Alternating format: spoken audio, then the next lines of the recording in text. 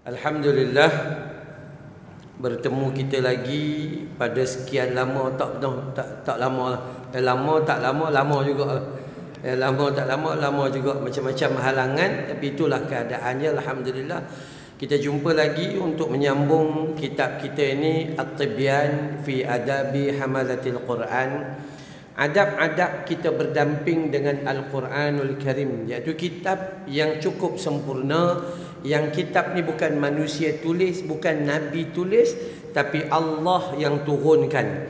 Jadi kita sepatutnya ada rasa untuk menikmati kitabul Quran dengan uh, seluruh kehidupan kita berpandukan isi kandungan dalam Al-Quranul Karim insya-Allah. Baik.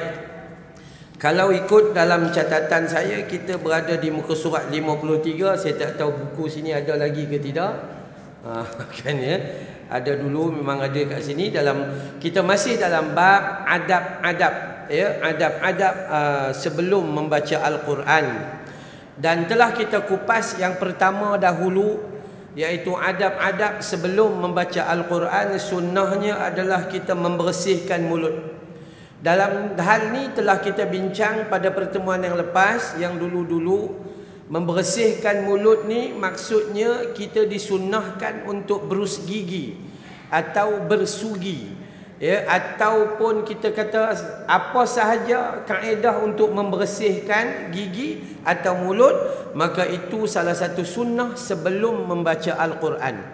Dan bagi mazhab kita al-Imam Syafi'i dia kata kalaupun tak ada berus gigi pada ketika itu cukuplah dengan kumur dan menggunakan jari lalu digosok di dalam mulut terutama bahagian gigi dan dia sudah memadai pahala bersugi itu sudah diperolehi.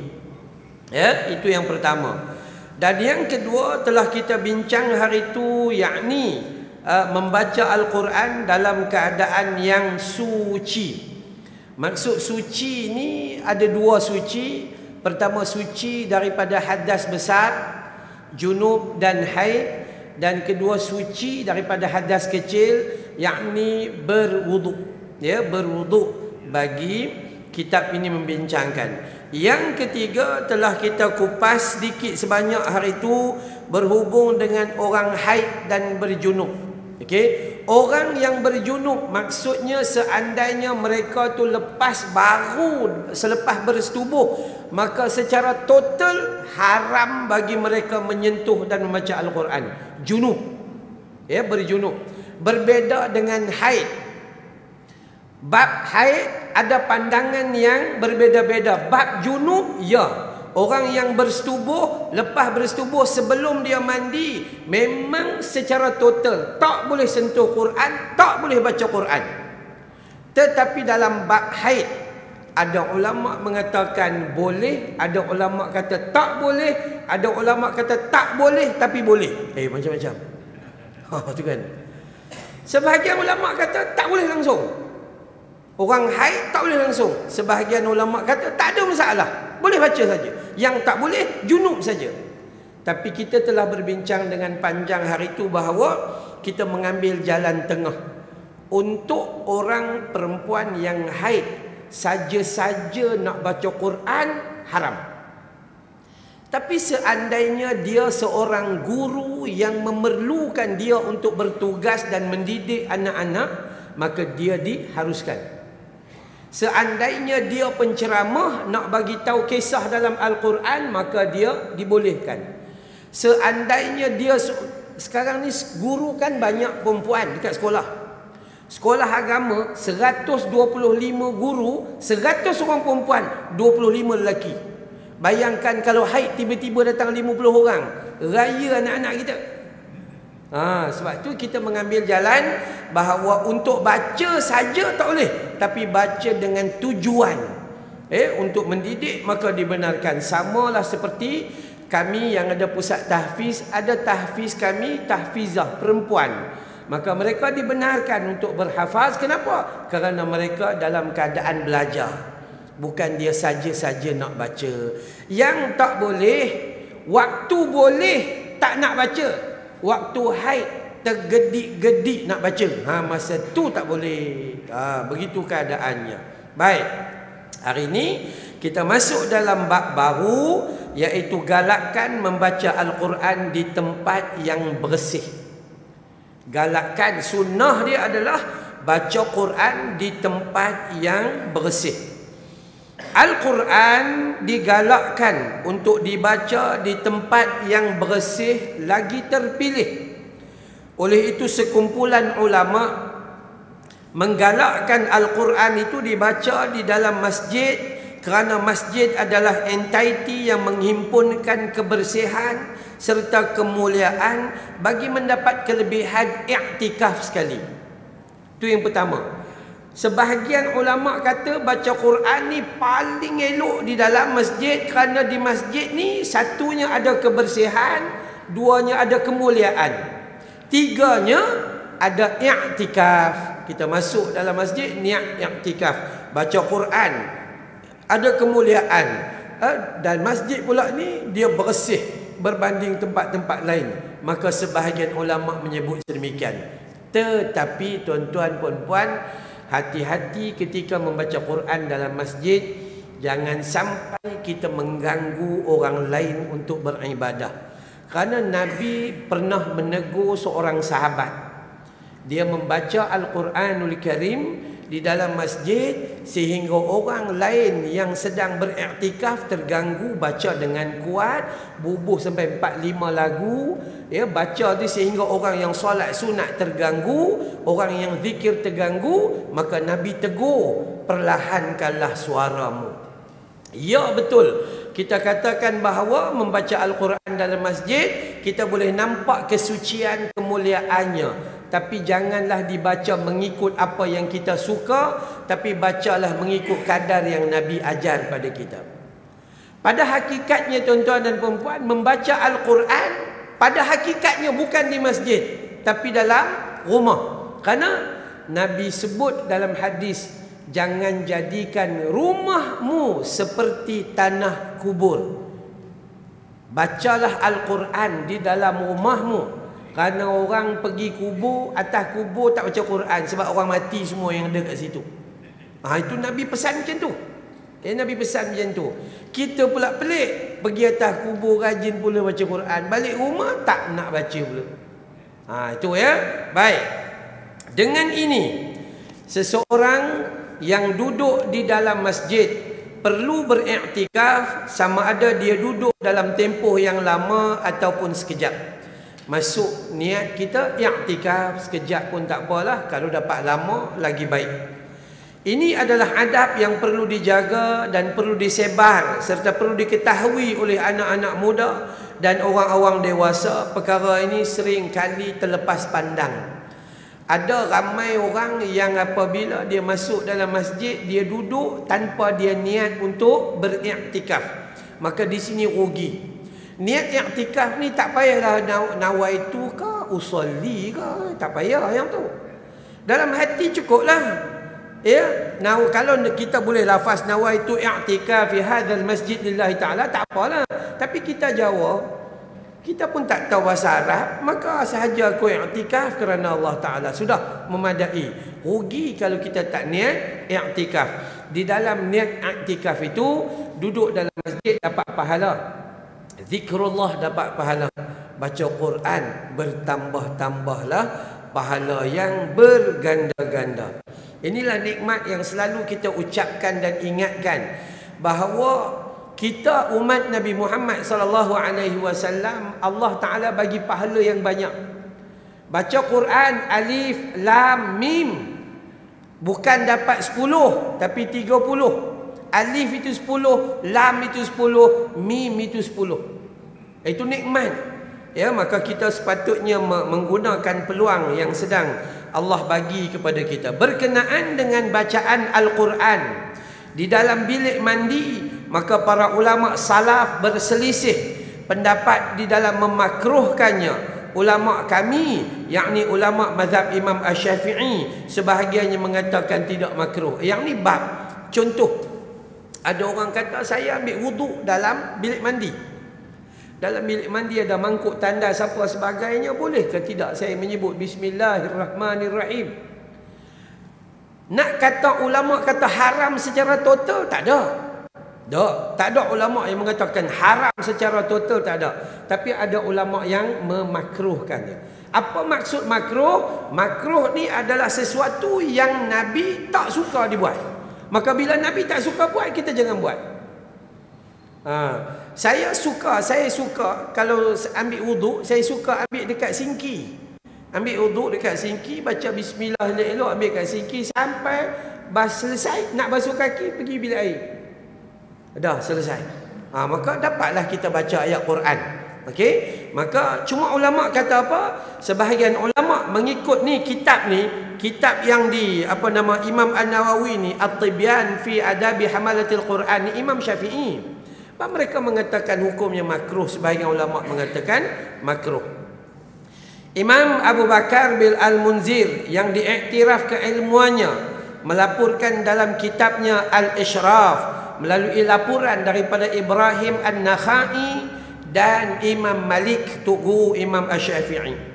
Manakala beberapa ulama salaf menghukumkan makruh seperti Ali bin Abi Talib yang dilaporkan oleh Ibnu Abu Daud. Selain itu dilaporkan oleh Ibnu Munzir, segolongan tabi'in dan sebagainya.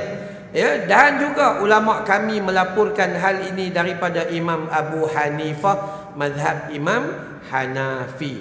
Maka banyak yang mengatakan makruh dan belum ada yang kata haram. Eh, belum ada ha, yang mengatakan haram. Baik. Asy-Sya'bi mengatakan Al-Quran dimakruhkan untuk dibaca pada tiga keadaan. Yang pertama bilik mandi makruh baca Quran. Dah tak ada kerja dah pergi baca Quran kat bilik mandi. Ha kan? Itu pun kadang-kadang lah. Baik, yang kedua di tempat pembuangan najis. Zaman dulu tempat buang najis dengan bilik mandi dia lain. Kita duduk dekat kampung, kalau bilik mandi dalam rumah. Dekat bahagian dapur ujung sekali. Tapi kalau tandas dekat luar rumah. Ha, dekat luar rumah. Maka dulu lain tapi sekarang semua dalam bilik. Dalam bilik master bedroom kita tu segala macam mak datuk semua ada dalam tu. Apa hukumnya? Ulama kata tak ada masalah. Tetapi hukum perbincangan tentang melafazkan ayat Quran itu yakni pertama sekali dalam bilik mandi makruh. Di tempat pembuangan najis makruh dan di tempat penggilingan pembuatan roti makruh kerana sampah sampah sampah sampah sampah kita buang maka di sana makruh apa maksudnya maksudnya bacalah al-Quran pada tempat yang mulia. Rumah kita baca Quran dalam bilik utama kita ruang tamu rumah kita. Pasal apa nak pergi baca di dapur. Kan? Tak selesa pun. al-Quran baca dalam rumah kita. Biar pasang kipas bagi elok-elok bagi kita selesa betul-betul dan manakala membaca Al-Quran di jalanan, pendapat yang dipilih adalah diharuskan dan tidak makruh jikalau orang yang membacanya tidak melakukan secara suka-suka atau main-main. Duk tepi jalan, duk saja-saja. Duk tepi jalan dan sementara duk tunggu bas Bismillahirrahmanirrahim. Alif Lam تنزيل الكتاب لا ريب فيه من رب العالمين أم يقولون افترى إلى الآخر الآية tak apa diharuskan kenapa di tepi jalan itu bukan saja-saja tetapi nak mengisi ruang waktu kita sekiranya berniat untuk bersuka-suka maka perbuatan tersebut dibenci sebagaimana Nabi membenci orang yang mengantuk membaca Al-Quran. Saja-saja baca Quran ni saja-saja. Ah, maka Nabi tak suka. Macam mana orang yang mengantuk? Ada orang belajar Quran dia kata ustaz macam mana bila baca Quran saja mengantuk? Bila baca Quran saja mengantuk, apa ubatnya? Ubatnya tidur. Itu saja. Ya. Betul lah. Ubat dia tidur. Pasal apa Ustaz? Hang dah tanya soalan ni tiga tahun. Hang duduk lena macam tu juga. Maka tidur saja. Dah.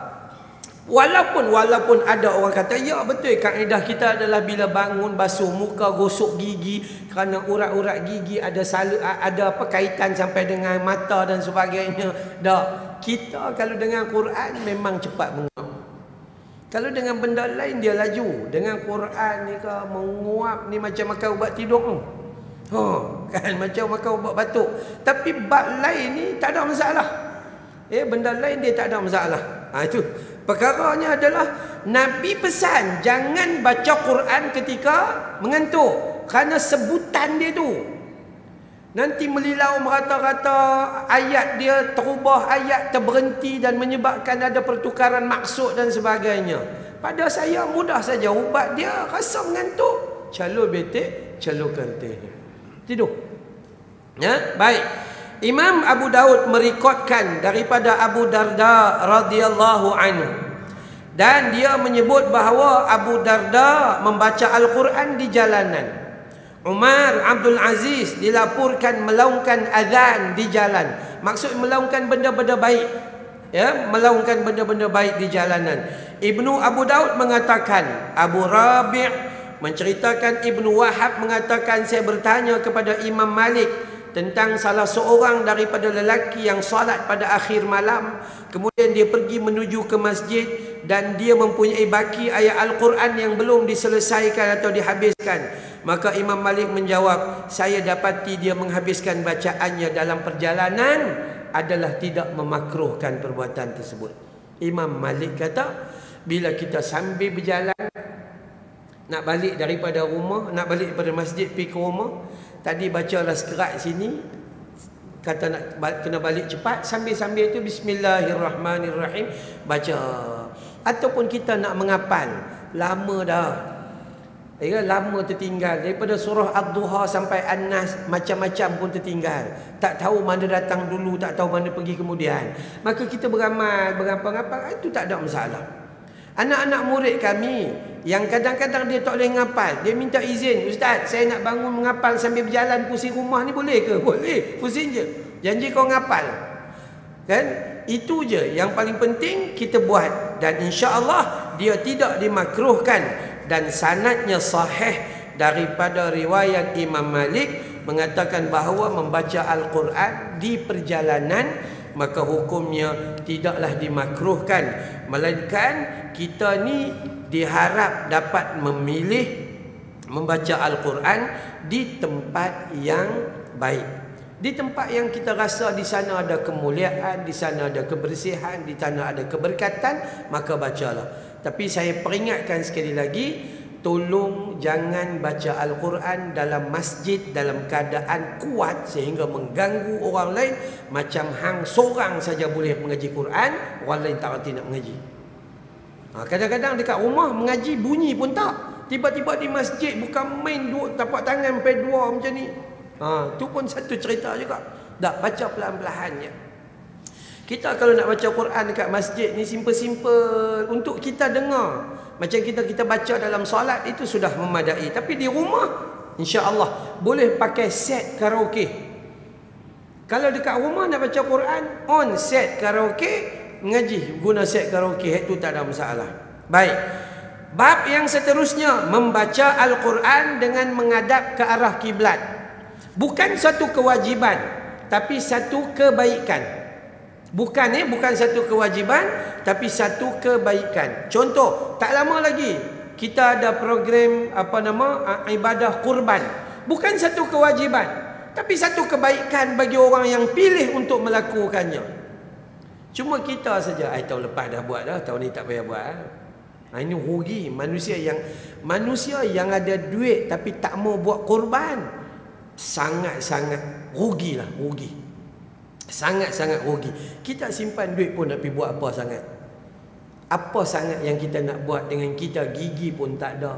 Cek-cek kencing manis naik sampai 21. Darah tinggi sampai 140. Apa lagi nak? Kan ya? Buat ibadah korban. Bagi orang lain makan. Dan pahalanya Allahu Akbar. Kata Nabi dalam hadis sahih. Amalan yang paling baik pada hari nahar. Pada hari Idul Adha adalah ibadah kurban. Dan saya nak pesan satu benda yang disalah fahamkan. Apa dia? Ibadah kurban. Siapa yang tak ada duit tidak perlu buat ikut nama nama nama nama dah. Ibadah kurban Nabi didik buat satu bahagian satu keluarga, satu bahagian satu keluarga.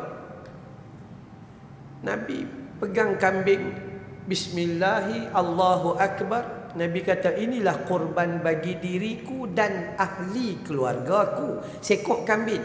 Maksudnya satu bahagian daripada lembu. Ada orang kata Ustaz Saya ni baru buat empat bahagian saja Ada lagi tiga bahagian Kalau saya mati Saya takut lembu saya besok Dia hantar kepala kaki depan dua kaki belakang tak ada Betul ke? Mengarut ni Mengarutnya Dah. Satu tahun buat satu bahagian sahaja untuk satu keluarga. Selesai. Kenapa? Sebab itu sunnah Nabi. Tapi kalau siapa ada duit banyak, buat pilah tekok dua ekor pun. Saya ketua keluarga, ketika saya nak menyembelih korban, contohnya saya nak masuk korban, saya ini inilah korbanku dan korban seluruh ahli keluargaku. Selesai. Selesailah. Kan sebab bila kita buat macam tu, kita tak rasa beban. Tapi kalau nak buat setiap seorang satu, satu, satu, satu, bankrupt kita. Anak pun dua belah. Cempuk mak dengan bapa. Dah empat belah. Ha, Allahu Akbar. Baik. Membaca Al-Quran ini sunnah menghadap ke arah kiblat jika mampu. Ya. Dan ada hadis yang berbunyi sebaik-baik majlis adalah seseorang yang menghadap kiblat. Tuan-tuan sekarang puan-puan menghadap ke arah kiblat sebaik-baik majlis sedemikian. Yang duduk di dalamnya dengan penuh khusyuk dah menghadap kiblat. Khusyuk bukan syahid. Syahid lain, syahid lain ah. Ha, kan? Khusyuk betul dia syahid. Okey.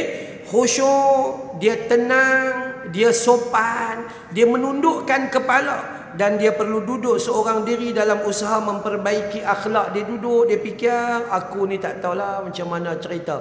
Umur makin hari dah makin meningkat ilmu makin hari makin tak mau belajar amalan makin tertinggal dan sebagainya. Dia merenung kehidupan dia dan rendah dirinya. Seorang pelajar di hadapan gurunya. Ha tu. Siapa pun yang main mengajar dekat sini Katakanlah yang main mengajar tu umur 18 tahun Kita umur 81 Maka ketahuilah Yang tinggi tu bukan umur Tetapi ilmu yang ada pada diri dia. Kita yang umur 50-60 ni Hapai ni surah Ad-Duha turun ke bawah eh. Tu pun tak penuh Ada pelajar tahfiz umur 14 tahun dah Hapai 10 juzuk Al-Quran Maka ilmu bukan dari sudut dari sudut umur. Dan uh, sekiranya dia membaca Al-Quran secara berdiri berbaring di atas katil atau apapun dalam jua keadaan maka perbuatan itu diharuskan maka dia memperolehi ganjaran pahala. Siapa-siapa pun yang baca Quran mengikut kemampuan yang dia ada. Dia nak nak duduk setempat baca tak boleh. Tapi dia naik LRT duduk dalam LRT dia baca Quran. Kawan bawa kereta dia duduk sebelah baca Quran. Dia bawa motosikal ngapal surah ad-duha ke lam yakunil ladzi ke apa ke baca Quran. Boleh? Pahala dapat tak? Dapat.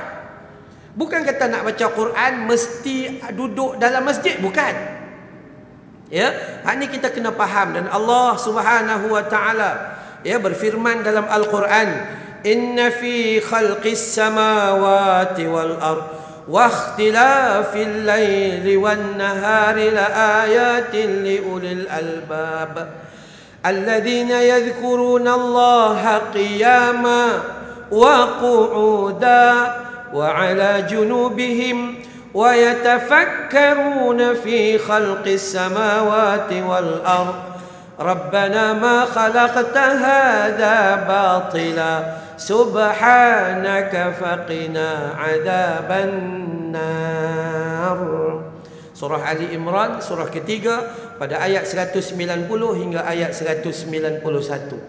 Apa kata Allah? Sesungguhnya pada kejadian langit dan bumi serta pada ada pertukarannya malam dan siang ada tanda-tanda kekuasaan Allah bagi orang yang berakal. Apa maksud berakal? Ada otak dan guna otak dia tu untuk berfikir. Dia nampak kebesaran Allah bila dia nampak ada langit dan bumi Allah Maha Pencipta. Bumi kita ni cantik walaupun dia duduk ke di hujung di mana kita tak tahu kita boleh duduk berdiri dan sebagainya segala macam nikmat ada di bumi. Langit yang tak ada tiang tapi tak jatuh-jatuh menimpa kita.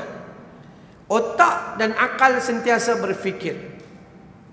Dan kemudian bila dia tengok siang dan malam maka ini juga kebesaran Allah Subhanahu wa taala kalaulah semua siang kurus kering kita siang malam pagi petang kerja. Orang yang kerja pada waktu malam dia tidur siang pun susut badan dia. Sebab tidur siang tak sama dengan tidurnya malam. Allah ya? Iaitu orang yang menyebut mengingati Allah semasa mereka berdiri. Dia baca Quran. Dia ingat Allah. Semasa mereka duduk. Alladzina yadhkuruna allaha qiyama wa qu'uda wa ala junubihim.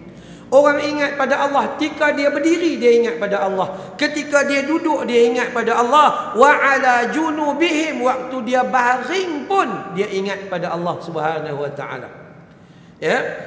Dan mereka itu wa yatafakkaruna fi khalqis samawati wal ard sentiasa berfikir ya bagaimana Allah Subhanahu wa taala yang jadikan langit dan bumi lalu mereka berkata rabbana ma khalaqta hadha batilan subhanaka faqina adzaban nar maha suci Allah engkaulah pemelihara kami daripada segala azab.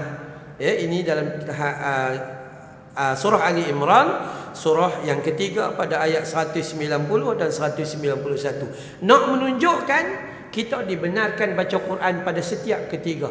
Berdiri pun boleh duduk pun boleh baring pun boleh. Hatta dalam hal ini solat pun macam tu. Solat pun macam tu. Berdiri kalau hang mampu. Tak mampu duduk duduk dekat mana? Duduk dekat bawah. Tak mampu duduk di lantai baru duduk atas kerusi. Tak mampu duduk atas kerusi kemudian baring. Semua itulah keindahan yang diberi Allah Subhanahu wa taala bagi orang sehingga kita tak ada alasan untuk mengatakan bahawa saya tak mampu baca Quran dan sebagainya begitu begini. Ada orang kata ustaz saya mata tak berapa nampak. Tak apa. Tapi teringin tak nak baca Quran? Teringin beli MP3 handset kita dia telefon kita ni download dia ayat Quran dengar cuba hafal sikit-sikit sikit-sikit sikit-sikit ni masalah kita handphone duk pasang lagu ya ha, betul dia duk pasang lagu tu kan ya bila duk pasang lagu maka dia tak Quran dia tak jadi ya Quran dia tak lekat walaupun handphone kita ni banyak gig banyak handphone-handphone sekarang ni ada 156 gig, 250 gig. Oi, bukan main. Kalau nak bubuh Quran ni 10 buah Quran pun boleh masuk. Kan? Masalahnya kita bubuh-bubuh juga, tapi baca tak. Tu pun satu cerita. Bila baca, tu pun tak baca, dia on masa dia kata ada hantu. tu ada jin baru Hak lain-lain dia bubuh lagu kabi-kabi. Ha kan? Lain-lain kan kabi kabi mere dil me haya na kya hai ulun kan? Allahu akbar.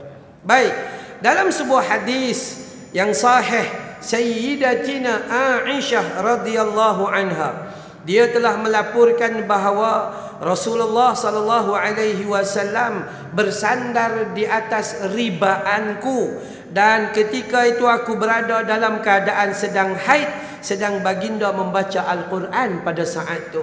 Nampak betapa romantikanya nabi ha kan? Nabi isteri dia haid. Dalam hadis riwayat Imam Bukhari dan Muslim. Isteri haid suami baring atas ribaan isteri.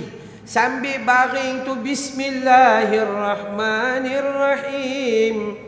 Walaqad zara'na li jahannam katsiran minal jinni wal ins kita baca kita boleh dengar. Isteri tak boleh baca haid tapi dia boleh dia boleh dengar. Ha itulah kenikmatan.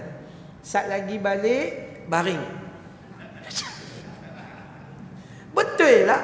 Eh saya isteri saya ada datang hari ni. Insyaallah. Dia dapat ilmu baru juga. Sat lagi balik cari mana pohon bini baring. Lepas tu baca Quran lah.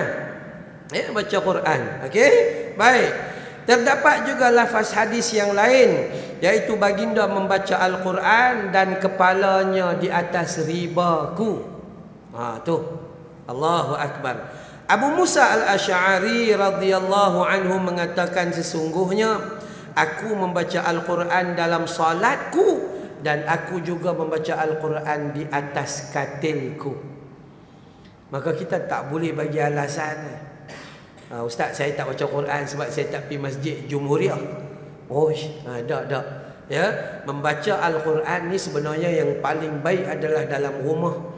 Kerana rumah ni dia tak ganggu orang lain. Rumah ni bila kita baca dalam rumah, dia tidak mendatangkan perasaan riak. Tak mau menunjuk-nunjuk pada orang lain.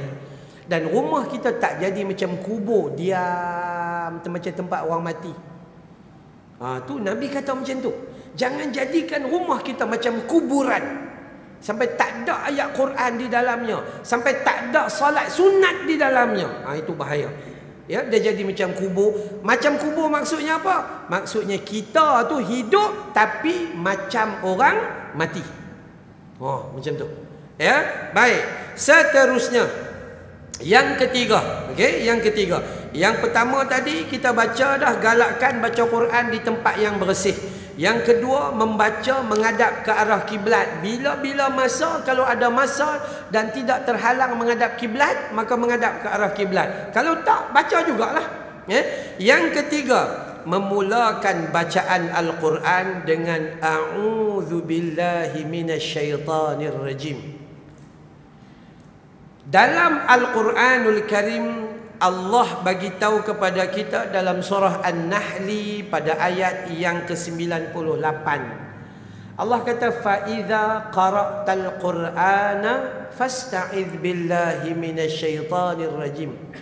Siapa-siapa yang nak baca Quran, hendaklah kamu memohon kepada Allah agar Allah menjauhkan gangguan syaitan laknatullah. Sebab apa? Baca Quran pun setan kacau. Salat setan kacau. Sedekah setan kacau. Joget lamba dia tak kacau. Baca Quran. Kenapa perlu nak minta a'udzubillahi minasyaitonirrajim pada waktu tu? Tak perlulah. Kena minta sebab baca tiga ayat menguat lima kali. Tu setan tu. Kan tunduk tunduk tunduk tunduk tunduk syahid terus. Sadaqallahul azim. tu. tu kena baca a'udzu billahi minasyaitonir rajim. Baik. Sebahagian daripada ulama mengatakan doa memohon perlindungan daripada syaitan perlu dibaca selepas bacaan selesai. Sebahagian ulama kata baca sebelum baca ya sebelum baca minta setan jauh. Ya ada ulama kata selepas baca pun minta juga. Sebab harap-harap bacaan tu masuk dalam tubuh badan kita dia takkan baca hanya di bibir saja tak. Tapi dia baca tu masuk di dalam tubuh badan kita. Fa idza qara'tal qur'ana fasta'iz billahi minasyaitonir rajim oleh itu selepas engkau membaca Al-Quran atau sebelum engkau membaca Al-Quran maka hendaklah engkau memohon perlindungan kepada Allah daripada hasutan syaitan yang direjam. Setan ni dia tak pernah tinggal kita. Malaikat dia tinggal kita. Masuk bilik air, malaikat tinggal kita. Uh, ketika tidak berpakaian, buang air dan sebagainya. Setan tak. Lagi kita buka, lagi banyak kamera dia bawa masuk. Tu setan jin. Memang perangai dia memang macam tu. Memang tempat perhimpunan dia di dalam di dalam tempat-tempat yang yang kotor. Majoriti ulama menyebut ayat ni secara terperinci ayat faiza qara'tal quran ya apabila nak baca Quran itu maka apabila kalimah dia apabila kamu ingin membaca al-Quran maka mohonlah pertolongan dengan Allah daripada syaitan yang direjam kalau kita tak baca a'udzubillahi minasyaitonirrajim mungkin plan nak baca satu muka surat jadi setengah. Dan kita tak dapat pengajaran daripada dia akhirnya kita sikit sikit berhenti berhenti berhenti. Sadaqallahul azim. Tutup masuk dalam almari dua tahun. Dalam almari dua tahun. Pergi Mekah pergi Madinah ni pulutlah beli Quran. Bukan main punya semangat bawa balik simpan masuk almari senyap sunyi. Sampai pergi Mekah pula sekali lagi. Ha, jom kita ambil ya.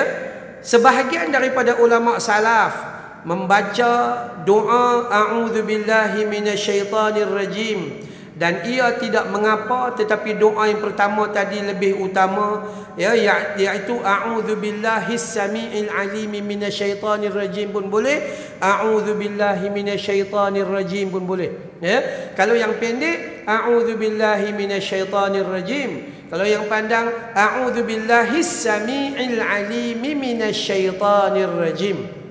Ada kupasan-kupasan daripada ulama salaf dan doa perlindungan. Benda yang paling besar yang kita nak jauh nilah setan. Setan lah. Sebab dia tak pernah berhenti. Setan enggak pernah mundur, kendur, lagi undur. Tak. Tak pernah berhenti. Enggak pernah mundur. Datanglah manusia sekuat mana pun syaitan enggak pernah mundur. Undur tak malah marah. Kendur kita. Syaitan tak dia terus marah dan terus marah untuk menjahanamkan manusia. Maka doa memohon perlindungan adalah digalakkan dan hukumnya adalah disuruh, disuruh dan disuruh untuk kita minta kerana kita nak berhadapan dengan syaitan kita tak kuat. Musuh yang bernama setan kita tak nampak dia. Dan kekuatan itu dahsyat. Allah bagi keizinan musuh manusia yang terang menerang depan kita pun kita tak mampu lawan. Tambah-tambah setan yang boleh berjalan dalam urat darah manusia. Yang boleh masuk dan tiup bahasa-bahasa apa godaan dalam kehidupan kita. Maka sebab itu kita perlukan Allah untuk lawan dengan syaitan. Sebab itu kita diharap disuruh untuk membaca a'udzu billahi minasyaitonir rajim atau a'udzu billahi samiil alim minasyaitonir rajim dan juga ia begitu digalakkan pada setiap pembaca Al-Quran sama ada dalam solat atau di luar solat. Baik. Dalam solat ada perbezaan pandangan. Kalau di luar solat ni nak baca Quran sentiasa nak mula a'udzubillahi minasyaitonirrajim. Tapi dalam solat tak. Dalam solat berdasarkan hadis yang sahih Nabi hanya baca a'udzubillahi minasyaitonirrajim pada surah Al-Fatihah yang pertama sahaja. Surah Fatihah yang seterusnya tak baca a'udzubillahi minasyaitonirrajim. Surah tak baca a'udzubillahi minasyaitonirrajim. Jadi kita ikut sunnah Nabi. Masa kita angkat takbir Allahu akbar. Habis Allahu akbaru kabira walhamdulillahi kathira wa subhanallahi bukratan wa asila. Nak mula Fatihah tu A'udzu billahi minasyaitonir rajim Bismillahirrahmanirrahim. Baca Al-Fatihah. Masa nak baca surah Tak lagi dah. Bismillahirrahmanirrahim Masa rakaat kedua Tak ada lagi dah Bismillahirrahmanirrahim Alhamdulillahirrabbilalamin ah, Macam tu Ya, tapi kalau di luar daripada solat maka membaca dengan tidak pernah di berhenti diulang-ulang itu itu adalah uh, utama. Azan ke? Belum. Belum kan? Okey. Baik. Kemudian dikatakan digalakkan juga kepada pembaca dalam solat itu uh, setiap uh, rakaat maka uh, bukan yang ni pandangan yang kedua adalah digalakkan membaca pada rakaat yang pertama sahaja. Sekiranya bacaan itu tertinggal maka kemudian kita kita ulangi bacaan tersebut ya. Digalakkan juga kalau kita mengaji dalam hadis kita akan jumpa hadis tentang kemarahan. Bila manusia tiba-tiba marah maka nabi kata sesungguhnya marah daripada syaitan dan syaitan tercipta daripada api. Maka mohonlah bantuan kepada Allah dengan a'udzubillahi minasyaitonirrajim dan musnahkanlah api dengan menggunakan air. Marah kita tak boleh biar kalau kita biar maka dia akan jadi dia akan jadi bahaya dan digalakkan juga membaca doa perlindungan pada rakaat pertama dalam solat jenazah menurut pandangan yang terkuat daripada selain daripada pandangan lain. Solat jenazah ada empat takbir. Ya, ada empat takbir. Jangan jangan keliru bila nampak ada orang buat enam takbir, tujuh takbir. Itu ada hadis yang sahih. Jangan kata, eh, kenapa mereka ni sesat ke? Bukan sesat, hang tak erti. Ha, kita yang biasa buat empat takbir. Allahu Akbar. Kan Al-Fatihah. Maka Imam Nawawi menyebut bahawa elok dia membaca bermula dengan a'udzubillahi minasyaitonirrajim. Ah ha, gitu. Dalam salat salat jenazah. Okey baik. Seterusnya seseorang itu disarankan supaya sentiasa memelihara bacaan bismillahirrahmanirrahim untuk mendatangkan keberkatan.